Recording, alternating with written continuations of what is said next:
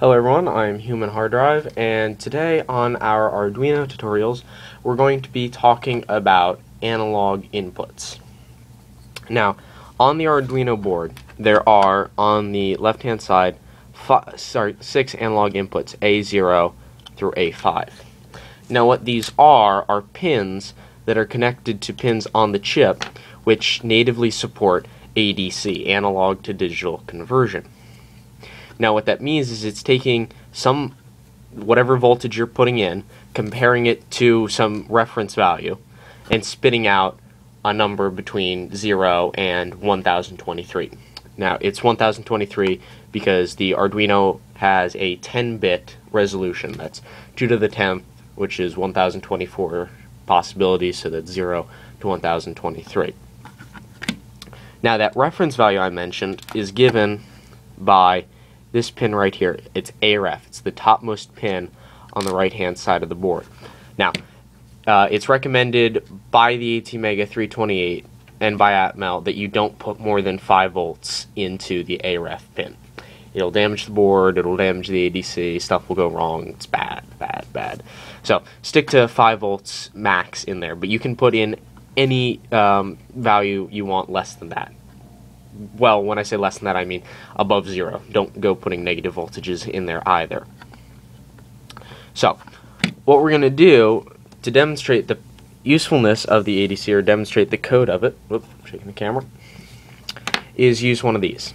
Now, what we have here is called a potentiometer. And if you don't know what a potentiometer is, I recommend watching my Electronics 101 video on resistors. But what it can do is we can set it up so that it functions as a voltage divider. So it splits whatever voltage I'm putting into it and will make it smaller. Now, if you look at the potentiometer, there are two pins here. So one of these will be connected to high voltage, the other one will be connected to ground. And then this is the wiper. This is the thing that's connected to, it's called a wiper on the inside of this, which moves along a tr uh, track, which varies the resistance. So what I'm going to do is I'm just going to pop that across the rail of the breadboard.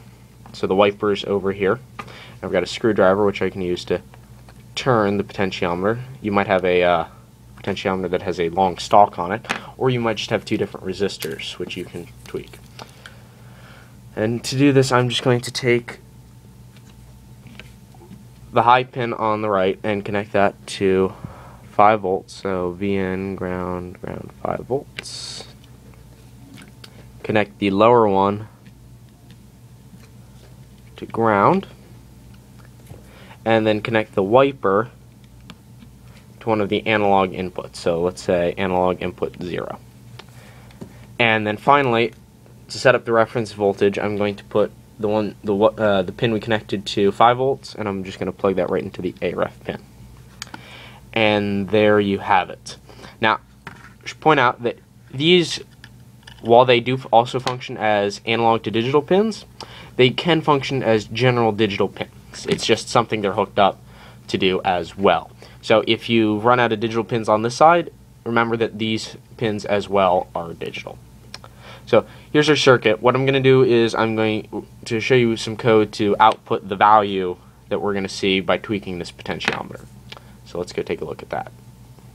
Okay, so I've opened the Arduino IDE and we're going to start this up like we start off every other program with our setup and loop functions. Now what I'm going to try to do here is output the data from the analog input. Now I had said that it has 10 bits of resolution so if you open up a calculator and you look at 2 to the 10th because it's binary. 1024 so 1024 possibilities so that's 0 to 1023 now the resolution bit also has to incorporate the voltage reference.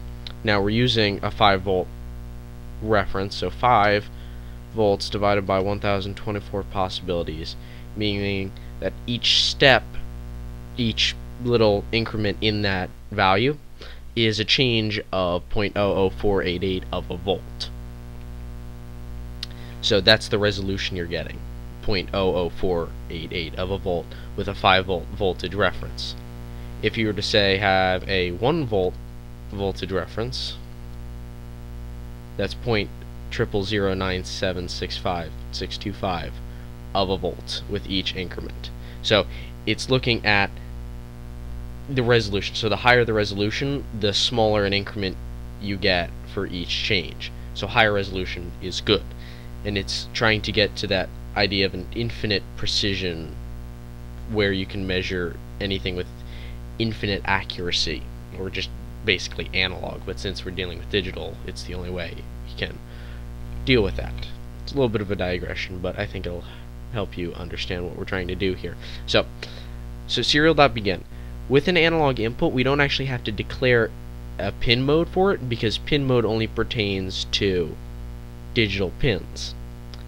So because of that, we don't have to say pin mode A0 input. All we have to do is say serial.println, remember print, so we're printing a new line, and the value we're going to print is analog read A0. Now you actually have to say A0 to specify the difference between 0 analog and 0 digital. So there is A0 and there is 0. So just remember that difference. And we're going to put in a delay of 250 milliseconds and upload that to the board.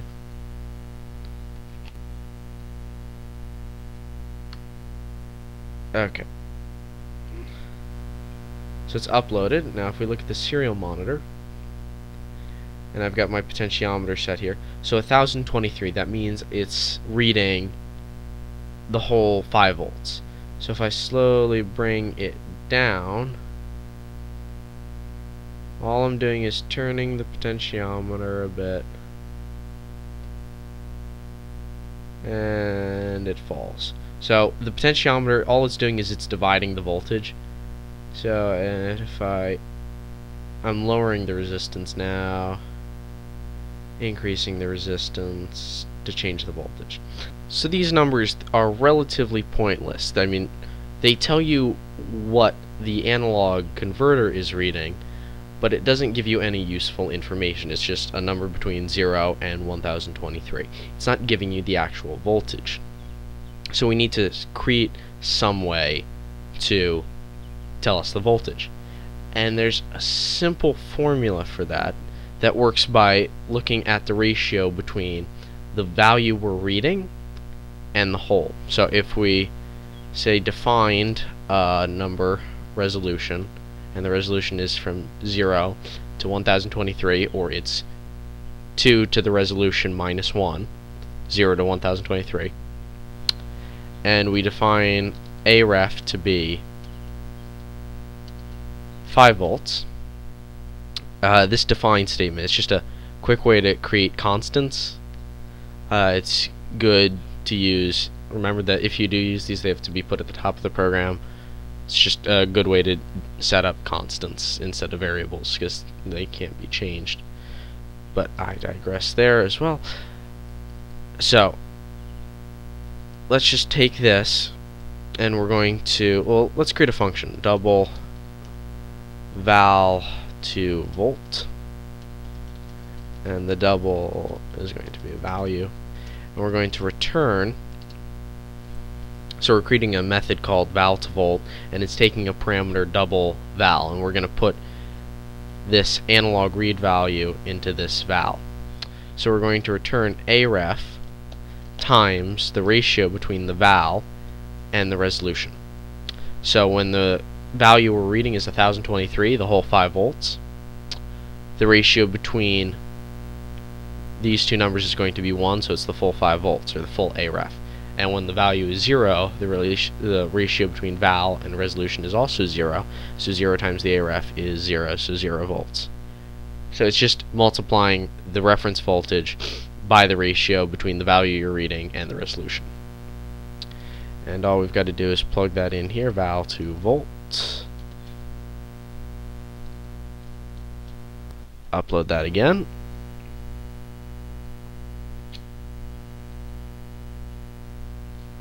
uploading So if we look at the serial monitor, and I go ahead and tweak this, you can see we're actually reading a voltage instead of just some number.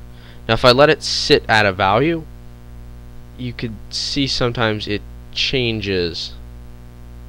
So I'm letting it sit at, I'm not tweaking it, and it jumps around a little bit. That's, you'll see that from voltage fluctuations in the device, uh, fluctuations in the converter, all these issues.